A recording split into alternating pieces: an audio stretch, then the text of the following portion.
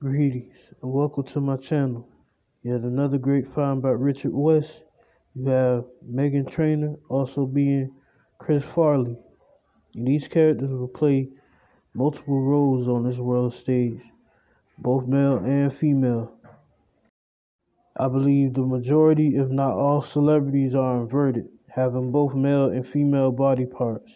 And you can tell by their body structures and certain things that they do it gives it away. This world that you see is a stage, layers upon layers of deception, and we're all being deceived by these celebrities that play multiple roles.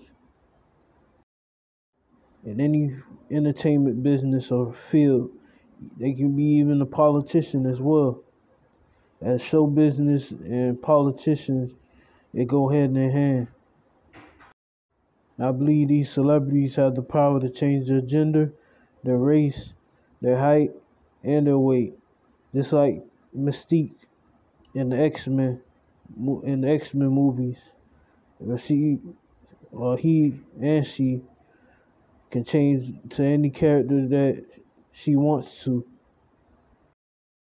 And I don't expect you all to believe what I'm saying, but I suggest you all do your own research into finding out what these celebrities be doing behind closed doors. And nothing is new under the sun. What you see now, they've been doing since ancient times, playing us for fools. These celebrities are all Masonic puppets. You see, they have the power to also clone as well. I believe that these celebrities are cloning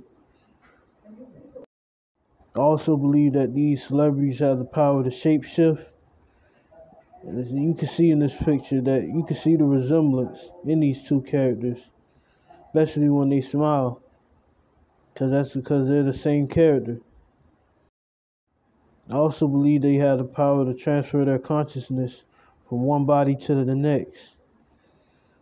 Just like in the movie Get Out, the movie Jordan Peele made. Let's get into their birthdays, which all celebrities' birthdays are fabricated. They aren't real. When I looked up Meghan Trainor's birthday, she was born in December. And when I looked up Chris Farley's birthday, he was born in February, but he supposedly died in December as well. That's not even a two month difference from their born days and they make up these birthdays to throw us off. Now let's get into the gematria, changing their names into numbers in order to find the match using their names. Now when I typed in Chris, as in Chris Farley, I got all threes and all ciphers, 30 in full reduction and 30 in full reduction KV. And when I typed in Meghan, I got all threes and all ciphers as well.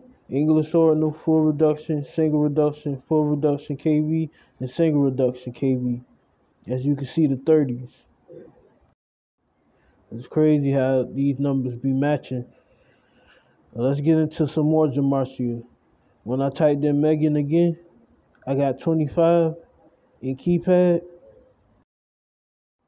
And when I typed in Chris, I got 25 in septenary. See, it's still a match, regardless of it being in different ciphers, because the numbers match. The numbers don't lie.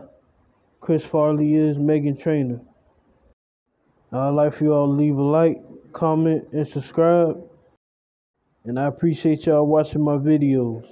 Peace.